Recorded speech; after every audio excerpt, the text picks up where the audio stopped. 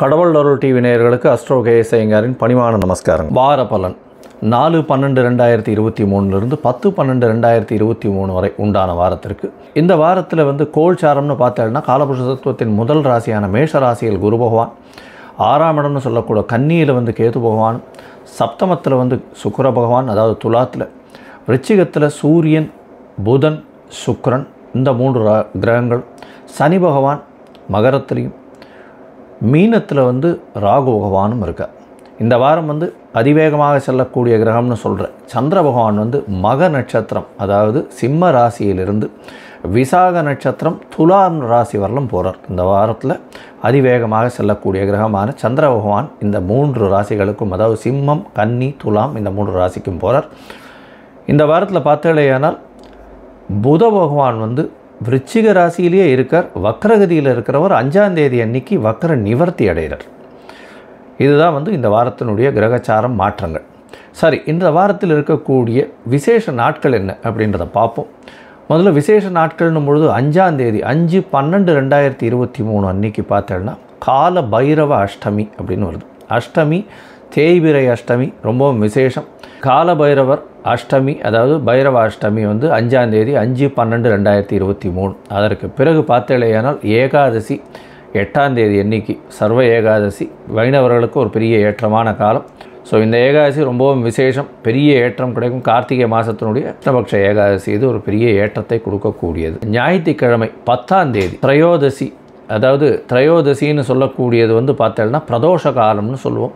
சிவபெருமானுக்கு உகந்த காலமாக சொல்லக்கூடியது. சிவன் கோயில் எல்லாம் வந்து அந்த அஞ்சே முக்கால்லேருந்து ஆறே கால் வரலும் வந்து ஒரு பெரிய அதை வந்து சேவிச்சுட்டு வர்றது. அதாவது தீபம் ஏற்றுவாங்க. அதை போய் சேவிச்சுட்டு வர்றதன் மூலியமாக எல்லா விதமான பிரச்சனைகளிலிருந்தும் விடுபட முடியும். சரி இந்த வாரம் பார்த்தலையானால் யார் யாருக்கு சந்திராசிரம் அப்படின்னு பார்த்தோம்னா மகர ராசிக்காரர்களுக்கு ஆறாம் தேதி காலை ஒரு பத்து மணி வரலும் இருக்குது அதற்கப்புறம் கும்பராசிக்காரர்களுக்கு எட்டாம் தேதி ராத்திரி ஒரு ஒம்பது மணி வரலும் இருக்குது அதற்கப்புறம் மீன ராசிக்காரர்களுக்கு பத்தாம் தேதி ராத்திரி ஒரு பன்னெண்டு மணி வரலும் இருக்குது அதற்கு பிறகு மேஷ ராசிக்காரர்களுக்கு சந்திராசிரமம் இருக்குது சந்திர பகவான் உங்களுடைய ராசிக்கு எட்டாம் இடத்துல போகிறது சந்திராசிரமம்னு சொல்கிறோம் அதனால் பொதுவாகவே இந்த காலகட்டத்தில் புதிய முயற்சி வேண்டாம் வெளியூர் வெளிமாநில பிரயாணம் வேண்டாம்னு சொல்கிறோம் சந்திர பகவானுக்கு உண்டான எளிய பரிகாரம்னு சொல்லக்கூடிய பசும்பால் அரை டம்ளர் வந்து அருகில் இருக்கக்கூடிய சிவன் கோவிலில் கொடுத்துட்டு வாங்க. அதன் மூலியமாக சந்திராசிரமத்தின் தாக்கம் நிச்சயமாக குறையும். சரி உங்களுக்கு வந்து என்னுடைய என்கிட்ட வந்து கன்சல்ட் பண்ணணும் அப்படின்னா அஸ்ட்ராலாஜிக்கல் கன்சல்ட் தேவைப்படுமே. ஆனால் என்னுடைய மொபைல் நம்பர் ஸ்க்ராலிங்கில் போயிட்டுருக்கோம். உங்களுக்கு வேணும்னா எனக்கு ஃபோன் பண்ணுங்க அப்பாயின்மெண்ட் தரேன். சரி இந்த வாரம் மேஷம் முதல் மீனம் வரை நாலு பன்னெண்டு ரெண்டாயிரத்தி இருபத்தி மூணுலேருந்து பத்து பன்னெண்டு ரெண்டாயிரத்தி இருபத்தி மூணு வரை உண்டான நாட்களுக்கு எப்படி இருக்குன்றதை பார்ப்போம். தனுசு மூலம் பூராடம் உத்ராடம் இந்த மூன்று நட்சத்திரம் ஒம்பது பாதங்களை கொண்ட ராசி ராசியின் அதிபதின்னு சொல்லக்கூடிய ஒரு குரு பகவான் ராசிக்கு அஞ்சாம் இடத்துல இருக்கிறது விசேஷம். அஞ்சாம் இடத்துலேருந்து உங்களுடைய ராசியை ஒன்பதாம் பார்வையாக பார்க்குறார். அதை தவிர நாலாம் அதிபதி அப்படின்னு சொல்லக்கூடியவரும் குரு பகவான் தான். உங்களுடைய ராசிநாதனும் நாலாம் அதிபதியும் குருநாதன் தான். குரு பகவான் தான். நாலாம் இடத்தில் இருக்கக்கூடிய ராகு பகவான் குருவின் செயல்களை செய்வார். அதனால் உங்களுக்கு வந்து எல்லா விதமான ஏற்றங்களும் வரும். புதிய வீடு மனை வாங்கக்கூடிய வாய்ப்புகள் உண்டு. ரெண்டாம் இடத்தில் இருக்கக்கூடிய சனி பகவானால் சிறு சிறு தொல்லைகள் வரும். பேச்சினால் பிரச்சனைகள் வரக்கூடிய வாய்ப்புகள் நிச்சயமாக உண்டு. அதனால் கொஞ்சம் பொறுமையாக இருக்கிறது ரொம்ப நல்லது. இன்னொரு பத்து நாள் தான். சனி பயிற்சியும் வந்துடும் அதனால் இந்த காலகட்டத்தில் கொஞ்சம் பொறுமையாக இருக்கிறது நல்லது. குடும்பத்தில் அதுவும் கணவன் மனைவியிடையே சற்று விட்டு கொடுத்து போ போகிறவங்க வந்து கெட்டு போகிறதில்லைன்னு சொல்லுவாங்க. இந்த மாதிரி விட்டு கொடுத்து போகிறதுனால ஒரு பெரிய நல்ல ஏற்றம் கிடைக்கக்கூடிய காலகட்டமாக இந்த வாரம் அமையிறது. இந்த வாரத்தில் பார்த்தோம்னா உங்களுடைய ராசிக்கு பன்னெண்டாம் இடத்துல சூரியன் புதன் செவ்வாய் மூன்று கிரகங்களும் இருக்குது செவ்வாய் பகவான் ஆட்சி பெற்று இருக்கார் உங்களுடைய ராசிக்கு ஒன்பதாம் அதிபதியும் பன்னெண்டாம் இடத்துல இருக்கார். இதன் மூலியமாக சிறு சிறு செலவுகள் தந்தைக்குன்னு செய்ய வேண்டிய காலகட்டமாக இருக்கும். உடல் நலத்தில் தந்தையின் உடல் நலத்தில் சற்று ஜாகிரதையாக இருக்கிறது ரொம்பவும் நல்லது. ஏன்னா ஒன்பதாம் அதிபதின்னு சொல்லக்கூடியவர் வந்து சூரிய பகவான்.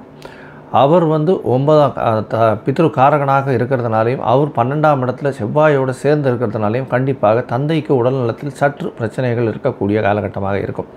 உங்களுடைய ராசிக்கு பார்த்தோம்னா பத்தாம் இடத்துல வந்து கேது பகவான் இருக்கிறது ரொம்ப விசேஷம். எதிர்ப்பு அதாவது பிற மதத்தினர் மூலியமாக நல்ல ஒரு ஏற்றம் கிடைக்கக்கூடிய காலகட்டமாக இருக்கும். அதை தவிர கேது பகவான் ப பத்தாம் இடத்தில் இருக்கிறதன் மூலியமாக தொழிலில் புதிய தொழில் வரக்கூடிய வாய்ப்புகள் நிச்சயமாக உண்டு.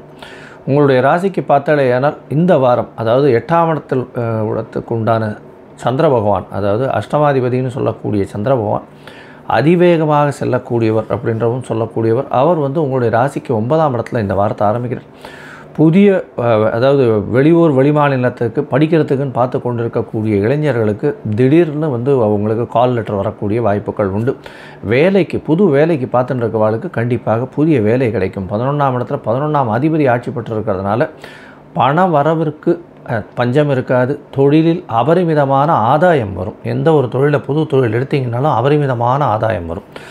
மூத்த சகோதரிகள் சகோதரர்கள் மூலியமாக நல்ல ஒரு ஏற்றம் கிடைக்கக்கூடிய காலகட்டமாக இந்த வாரம் அமையிறது இந்த வாரம் நாலு பன்னெண்டு ரெண்டாயிரத்தி இருபத்தி மூணுலேருந்து பத்து பன்னெண்டு ரெண்டாயிரத்தி இருபத்தி மூணு வரை உண்டான வாரத்தில் உங்களுடைய ராசிக்கு ஒன்பதாம் இடத்துல எட்டாம் அதிபதின்னு சொல்லக்கூடிய சந்திர பகவான் இருக்கிறதுனால தந்தையின் உடல்நிலையில் சற்று கவனம் தேவை. அதை தவிர பார்த்தாலேயானால் வெளியூர் வெளிமாநிலம் வெளிநாடு படிக்கிறதுக்கு பார்த்துட்டு கண்டிப்பாக போகக்கூடிய வாய்ப்புகள் நிச்சயமாக உண்டு. உங்களுடைய ராசிக்கு பார்த்தாலேயானால் ஆறாம் தேதி கார்த்தால ஒரு பத்து மணி வரலும் இருக்கக்கூடிய சந்திர பகவான் அவர் வந்து ஆறாம் தேதி கார்த்தால பத்து மணிக்கு மேலே பத்தாம் இடத்துக்கு கேத்துவோட சம்மந்தப்படுறார் எட்டாம் அதிபதி பத்தாம் இடத்துல இருக்கிறதுனால வெளிநாட்டிலிருந்து வரக்கூடிய திடீர் பண லாபங்கள் வரக்கூடிய வாய்ப்புகள் உண்டு. பொருள் வரவு மிகவும் அதிகமாக இருக்கக்கூடிய காலகட்டம். அதாவது கடல் வாணிபம் செய்கிறவாளுக்கு நல்ல ஒரு ஏற்றம் கிடைக்கும். இந்த சாஃப்ட்வேர் சைடில் இருக்கிறவா அதை தவிர டீச்சிங் ப்ரொஃபஷனில் இருக்கவா தங்க விற்பனையில் இருக்கிறவங்க அதை தவிர வந்து கோல்டு மர்ச்சன்ட்ஸு அந்த இது தங்க ஆசாரிகள் அதாவது அந்த இந்த இந்த கோல்ட் ஸ்மித்னு சொல்லக்கூடியவர் நகாசு வேலைகள் செய்யக்கூடியவர்கள் இவரெல்லாம் வந்து ஒரு பெரிய ஏற்றம் கிடைக்கும். திடீர்னு வந்து அவளுக்கு வந்து ஒரு பெரிய ஆர்டர் ஒன்று கிடைக்கும். அதன் மூலியமாக பெரிய ஏற்றத்தை இந்த வாரம் அவர்களுக்கு கிடைக்க போகிறது உங்களுடைய ராசிக்கு பார்த்தேன்னா பதினொன்றாம் இடத்துக்கு வந்து சந்திர பகவான் வரார் அதாவது எட்டாம் தேதி ராத்திரி ஒரு ஒம்பது பத்து மணியிலேருந்து பத்தாம் தேதி ராத்திரி ஒரு பன்னெண்டு மணி வரணும் இந்த காலகட்டத்தில் இருக்கார். இந்த காலகட்டத்தில் பார்த்தீங்கன்னா உங்களுக்கு அபரிமிதமான பணம் வரக்கூடிய வாய்ப்புகள் உண்டு. மறைந்த இடத்திலிருந்து திடீரென்று செல்வங்கள் வரும். ஷேர் இன்சூரன்ஸு இந்த மாதிரியான விஷயங்கள் எல்லாம் வந்து பார்த்தோம்னா திடீரென்று பண வரவு உங்களுக்கு அதிகமாக வரக்கூடிய வாய்ப்புகள் நிச்சயமாக இருக்குது பொதுவாக இந்த வாரத்தில் பார்த்தேனால் இந்த தனுசு ராசிக்காரர்களுக்கு நல்ல ஏற்றம் கிடைக்கக்கூடிய காலகட்டம். நீங்கள் கால பைரவரை போய் வணங்கிட்டு கால பைரவ அஷ்டகம்னு ஒன்று இருக்குது அது சொல்லிட்டு வாங்க. இன்னைக்கு இந்த வாரத்தில் நல்ல ஒரு ஏற்றமும் மாற்றமும் உங்களுக்கு நிச்சயமாக கிடைக்கும். கடவுள் அருள் டிவியை பார்த்தமைக்க நன்றிகள். மேலும் இது போன்ற தகவல்களை தெரிந்து கொள்ள கடவுள் அருள் டிவியை சப்ஸ்கிரைப் செய்யுங்கள். மறக்காமல் பெல் ஐக்கானை கிளிக் செய்யுங்கள்.